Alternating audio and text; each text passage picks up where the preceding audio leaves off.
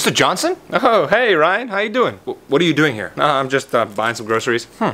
But why aren't you at school? Because it's Sunday? I know, I have a calendar, but teachers can't leave school. What? That, that doesn't make sense. All teachers leave school every day. So you don't live in the classroom? No, I do not. Do you have friends? What would they call you? Thomas? Who the flip is Thomas? Me. What? No, this is a prank, right? Ha, funny. No, this can't be true. Whoa, Ryan, uh, calm down. No, you should be in the classroom writing on a whiteboard and preparing to send me to the principal's office for the hundredth time already.